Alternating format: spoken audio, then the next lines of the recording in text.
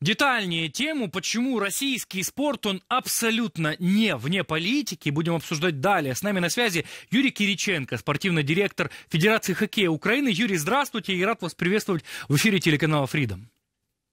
Доброе утро. Вернемся к теме батальона Эспаньола и поддержки со стороны ЦСКА российского хоккейного клуба, этих террористов. По вашему мнению, учитывая, скажем так, специфику этого батальона, из кого он состоит, в каких боях участвует и, в принципе, что он существует, будет ли вот это вот движение со стороны ЦСКА, а именно поддержка э, террористов из Эспаньолы, какой-то определенный эффект влияния на российский хоккей в целом, целом, на поддержку, либо же отрицание со стороны международного сообщества, участие, в принципе, российских спортсменов где-либо?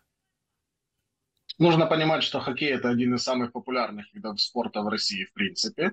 А, Путин в свое время назвал его национальным видом спорта, придавая особый статус это, этой игре. И действительно, многие тысячи мальчишек и, девчонок России занимаются хоккеем. Соответственно, это тоже очень хороший инструмент для пропаганды, это очень хороший инструмент влияния на массы. Поэтому не стоит удивляться, что пытаются использовать хоккейные клубы, особенно самые популярные хоккейные клубы, для того, чтобы проталкивать тему войны, показывать нормальность этой войны на территории России. Это действительно, как вы сказали, это огромный инструмент э, пропаганды, и спорт точно у них замешан в политике. К сожалению, данная акция не является первой. Э, были до этого акции, когда хоккеисты выстраивались э, в букву Z с георгиевскими ленточками, выходили на ледовую площадку. Единственная разница, что это были клубы более э, такого регионального плана, низших российских лиг, а вот чтобы в ведущей лиге России, чтобы вот так вот э, команда, которая является чемпионом страны, вышла э, с фашистской символикой, давайте называть вещи своими именами, вот действительно такое произошло впервые. Потому я думаю, что подобные акции будут продолжаться, и через подобные акции будут э, неокрепшие российские умы пытаться повернуть на свою сторону вы думаете, Юрия, есть ли возможность у вот, хоккеистов, к примеру, если мы уже берем историю с ЦСКА, отказываться? ЦСКА вообще, напомню нашим зрителям, как расшифровывается, Центральный спортивный клуб армии еще Советского Союза с 52 года, если мне память не изменяется, вот такое название есть, поэтому клубы, которые называются ЦСКА в народе, величаются армейцы, именно в таком плане. К примеру, за ЦСКА хоккейный играет небезызвестный человек, который должен был играть в НХЛ, это господин Федотов, вратарь, э, и человек, давайте так говорить, откровенно довольно известный в хоккейном мире. Будет ли иметь влияние на карьеры конкретно российских спортсменов вот такое вот решение? И должно ли вызывать это определенную реакцию со стороны лиг, со стороны ассоциаций, в которых могут участвовать российские спортсмены? Э, здесь я бы разделил вопрос на две части. Первая часть есть российские спортсмены, Mm-hmm. Есть спортсмены-легионеры. Вот да. к легионерам у меня вопросов даже гораздо больше, чем к россиянам. А, почему? Потому что выступает в составе команды ЦСКА и представитель Казахстана, натурализованный, причем североамериканец. Выступает э, швед. Э, в свое время НХЛ проводила акции в предыдущем сезоне, акции в поддержку ЛГБТ-общества. И некоторые российские игроки отказались выйти с радужными повязками на раскатке. То есть была подобная акция, только связанная с ЛГБТ. И тогда это восприняли нормально, сказали, что это право каждого человека определять, хочет он это делать или не хочет делать. Потому в мире есть прецеденты, когда возможно не поддаться на общую акцию. Тем более, если, по мнению самого, э, самого участника матча, она является для него лично неприемлемой, либо, либо какой-то провокационной. Поэтому здесь вопросы у меня к иностранцам очень большие, особенно когда их страны не поддерживают эту захватническую войну, когда их страны поддерживают Украину и предоставляют помощь Украине. Это первый момент. Что касается, что касается хоккеистов местных, здесь э, интересная история. С одной стороны, тот же Федотов, которого вы вспомнили, он э, за отказ остаться в ЦСКА попал в армию, Э, в самую настоящую армию, где прослужил э, больше года в определенной роте, в определенных войсках, да, он не участвовал ни в каких боевых действиях, он не участвовал там в чем-то серьезном, но сам факт, что когда нужно было его закрыть и не выпустить из страны, они это сделали, и он, и он остался в России, и он сейчас выступает за ЦСКА, к слову, клуб будет подвергнут санкциям за его выход на лед именно в том же матче, пускай там санкции и смехотворные, но сейчас уже Международная Федерация думает, а что делать с подобными случаями, как наказывать игроков, которые собираются, э, собираются плевать на решение Международной Федерации, которые будут плевать на контракты, подписанные в других странах. Поэтому, с одной стороны, для иностранцев я считаю, что здесь открыта дорога, им никто ничего не может сделать, они вполне могли бы отказаться от участия в этой акции. Что касается местных хоккеистов, они боятся санкций по отношению к себе, потому что никто их там не защитит. Тем не менее, э, э, есть ребята, которые именно ребята из России, которые в открытую высказывали свою позицию относительно войны. Да, они выступают за рубежом, либо специально переехали за рубеж, считая неприемлемую эту политику, которую проводит Путин и его шайка. Э, внутри страны они уехали в другие страны и чувствуют себя намного комфортнее, ну, раз для них дома нет места. Потому это личный выбор человека. Наверное, для россиян он чуть более сложный, для иностранцев, по-моему, вообще очень легкий.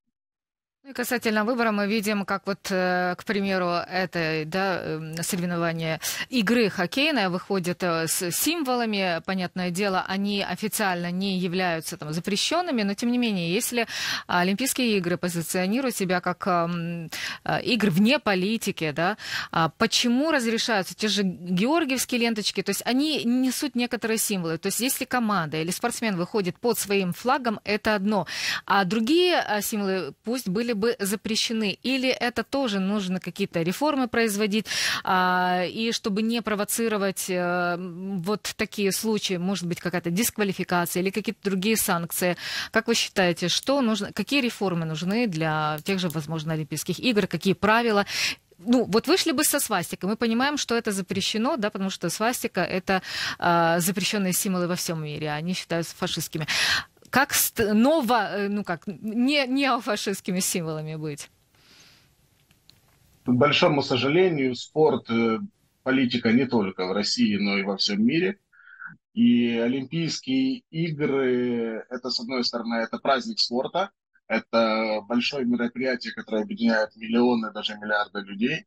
С другой стороны, мы не видим однозначную позицию Международного Олимпийского комитета по поводу отстранения россиян от э, участия в Олимпийских играх. И это выглядит немножко странно.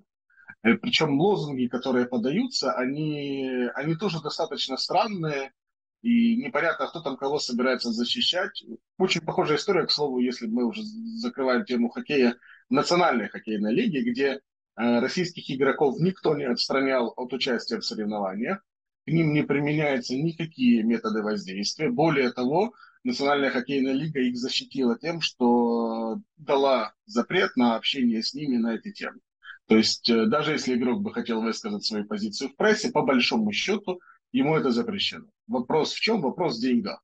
Э, надо признать, что Россия планомерно уже годами скупает мировой спорт. То есть купает спонсорскими контрактами. Такие компании, как «Газпром» и тому подобное, они являются спонсорами крупнейших международных соревнований.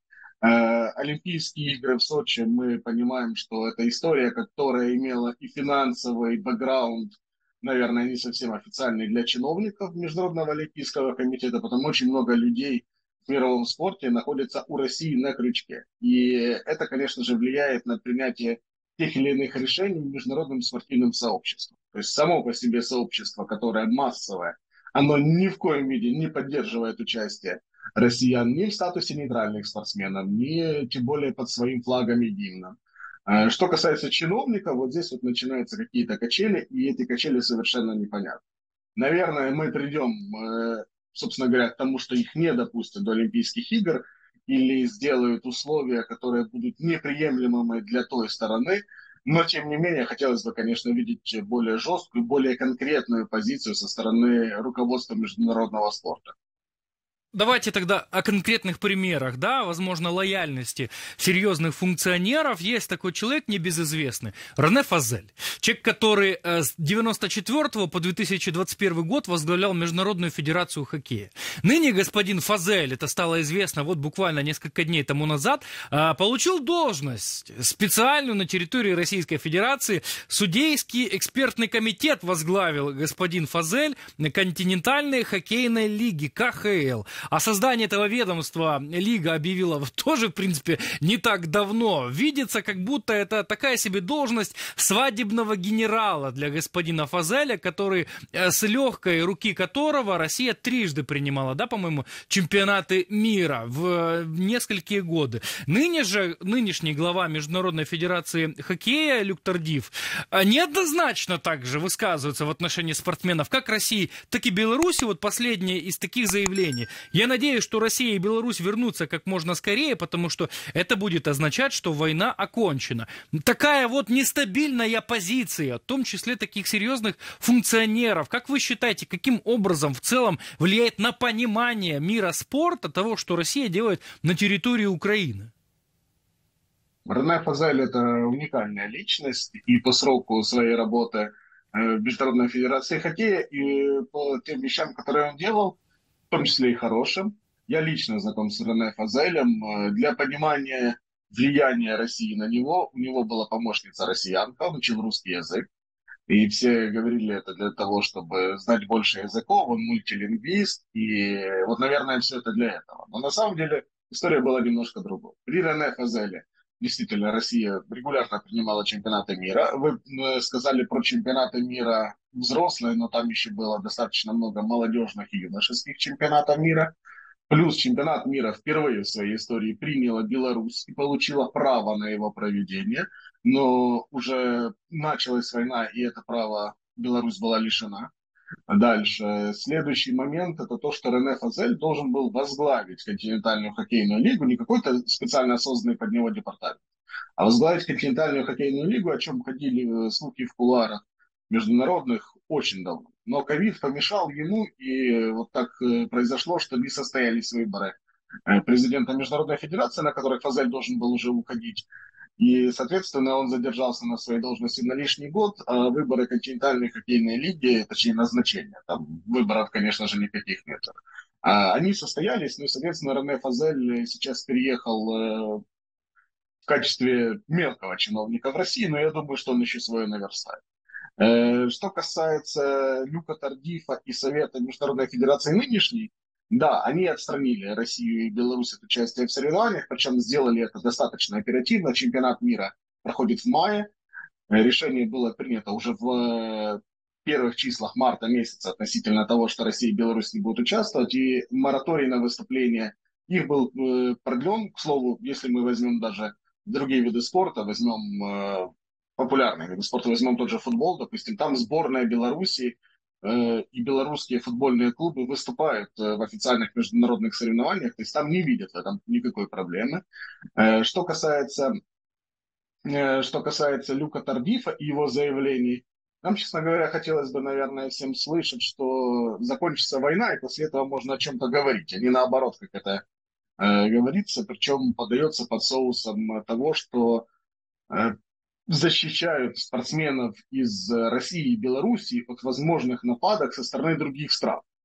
Очень интересная формулировка, и она выглядит достаточно странной, но как для нас здесь самое главное, что есть решение о их отстранении, и мы надеемся, что решение будет э, данное продлено еще на год э, в марте месяце следующего года, когда состоится специальное э, заседание, тем более, что, как мы видим, Россия сама провоцирует э, свое дальнейшее отстранение, выпуская игроков, которые не имеют права этого делать, э, плюя на международные э, стандарты, и, ну и продолжая всю эту историю с, фашист, с новыми фашистскими символами. Угу.